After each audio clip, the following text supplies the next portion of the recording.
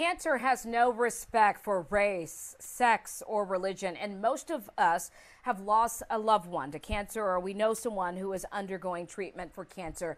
Maybe you are yourself. But what if I told you that we may be one year out from eliminating cancer in humans? It's already been proven in laboratory mice.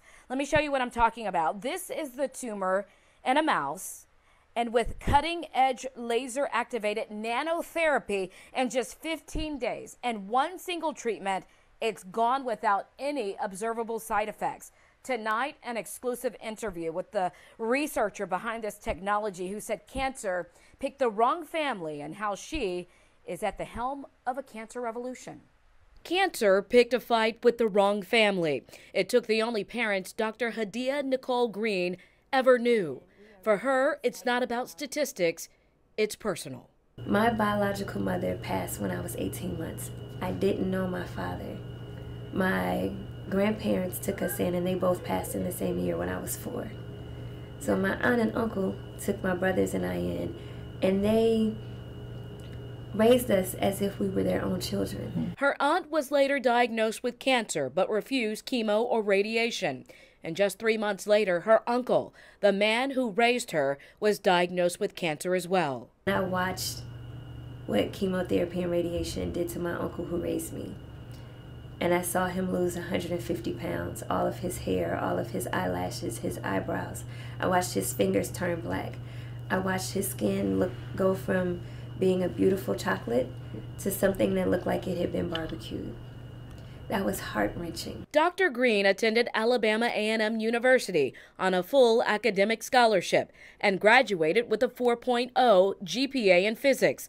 She is one of the first African American women to earn a PhD in physics. I was planning to revolutionize the way we receive cable and internet. But when cancer came to her family's doorsteps, it rocked her, and she started fighting back with her knowledge, using her laser and optics background to fight cancer in mice.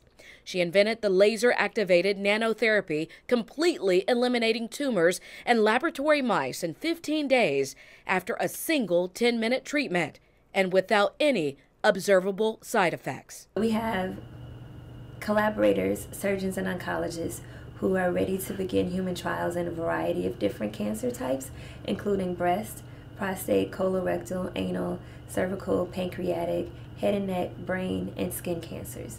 They are ready to begin human trials as soon as we can reach our first fundraising goal. Dr. Green believes the same technology will work in humans, but she must raise $10 million to begin human trials. She's already raised 1.7 million so far through grassroots efforts. That's the most heartbreaking part about what I have. The technology right now is sitting on the shelf while we fundraise.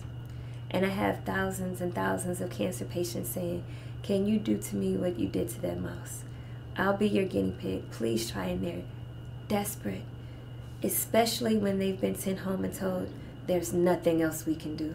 Dr. Green says this treatment is not for sale. I have colleagues who have developed different types of technologies and they sold it to the company, to a larger company. Mm-hmm. And instead of that company releasing it, they just put it on the shelf so that they wouldn't have the competition. Her mission is to keep the treatment affordable and accessible to the 14.1 million people who are diagnosed with cancer every year. And I know my fight won't bring my family members back, but my fight can save other families. It can save other people from having their families devastated the way I did. And that's why I fight now. Green must raise $10 million. She's using all of the proceeds from her speaking engagements to help fund the foundation, her nonprofit, the Ora Lee Foundation. You can get more information on that. Go to the story on KSLA.com for a link.